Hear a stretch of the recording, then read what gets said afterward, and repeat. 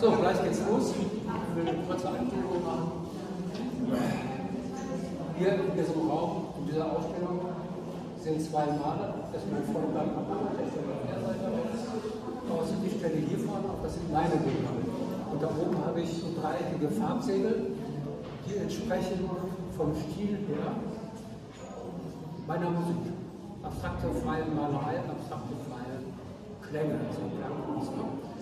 Ich mache zu meinen, speziell zu diesen Klängen, äh, zu diesen Farbklängen, Klangfarben mit der elektrischen Gitarre, was zum Teil kombiniert wird mit Rhythmen, die ich vorher mir am Computer in meinem Studio zusammengebaut habe. Also es geht los. Ne?